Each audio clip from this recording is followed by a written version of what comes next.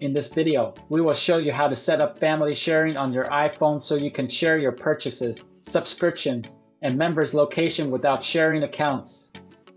You can also set up parental controls for children. It is very easy to do.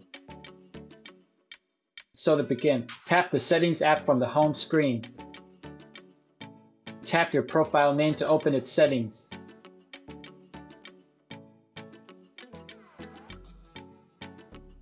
Among the other options, tap Family Sharing.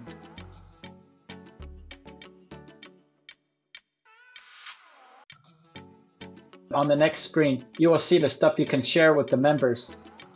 If you're the one setting it up, then you should be the organizer. To add people you want to share your subscriptions with, tap Add Member.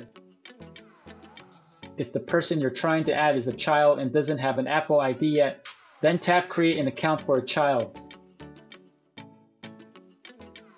However, if you're trying to add people who have already been using Apple services, tap Invite People.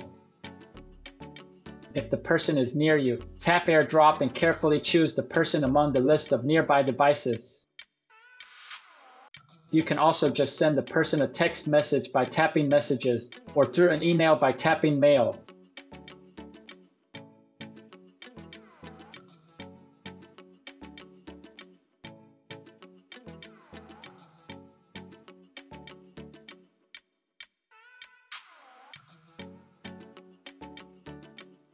Another option is to let the person manually enter his or her Apple ID and password by tapping on Invite in person.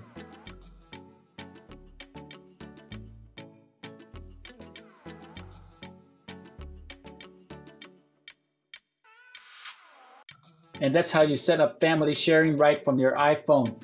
We hope that this guide can be helpful. Please support us by subscribing to our channel. Thanks for watching.